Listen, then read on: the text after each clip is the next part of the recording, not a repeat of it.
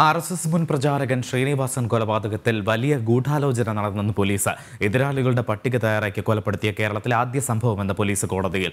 പ്രതികൾക്ക് ജാമ്യം ലഭിച്ചാൽ ഒളിവിൽ കഴിയുന്ന പ്രതികൾക്ക് സഹായമാകും എന്നും തെളിവ് നശിപ്പിക്കുമെന്നും പോലീസ്. പോലീസ് കോടതിയിൽ നൽകിയ റിപ്പോർട്ടിന്റെ പകർപ്പ് ജനം ടി വിക്ക് ലഭിച്ചു. വിവരങ്ങൾ അരുൺ ആലത്തൂർ നൽകും. അരുൺ ഈ കേസുമായി ബന്ധപ്പെട്ട് കോടതിയിൽ പോലീസ് നൽകിയ റിപ്പോർട്ടിന്റെ പകർപ്പ് ജനം ടി വിക്ക് ലഭിച്ചിരിക്കുകയാണ്. ഈ പകർപ്പിൽ എന്തൊക്കെ കാര്യങ്ങളാണ് പറയുന്നത്?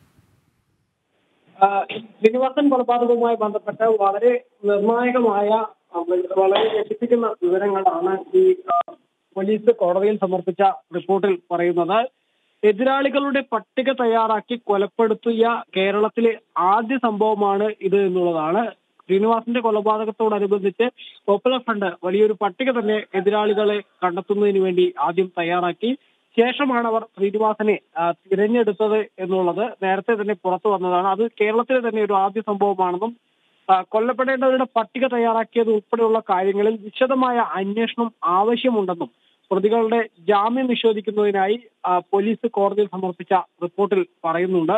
കൊലപാതകത്തിനായി നടത്തിയത് വലിയ ഗൂഢാലോചനയാണ്. മുഹമ്മദ് ബിലാൽ റിയാസുദ്ദീൻ എന്നിവരാണ് ഗൂഢാലോചനയിൽ പങ്കാളികളായ ആളുകൾ ആയുധങ്ങൾ പ്രതികൾക്ക് നൽകുന്നതിലും സഹായിയായി പ്രവർത്തിച്ചത് ഇവരാണെന്നും അതുപോലെ തന്നെ ആയുധങ്ങൾ എത്തിച്ചു നൽകിയത് സഹദ് എന്നയാളാണെന്നും മുഹമ്മദ് റിസ്വാൻ എന്നയാൾ പ്രതികളുടെ മൊബൈൽ ഫോണുകൾ ശേഖരിച്ച് തെളിവ് നശിപ്പിച്ചതായും പോലീസ് കോടതിയിൽ സമർപ്പിച്ച രേഖയിൽ റിപ്പോർട്ടിൽ പറയുന്നു. പ്രതികൾക്ക് ജാമ്യം ലഭിച്ചാൽ ഒളിവിൽ കഴിയുന്ന മറ്റു പ്രതികൾക്ക് സഹായമാവുമെന്നും തെളിവ് നശിപ്പിക്കുന്നത് ഉണ്ടാവുമെന്നും പോലീസ് പറയുന്നുണ്ട് ഈ റിപ്പോർട്ടിൽ. ശരി അരുൺ ആലത്തൂരായിരുന്നു വിവരങ്ങൾ നൽകിയത്.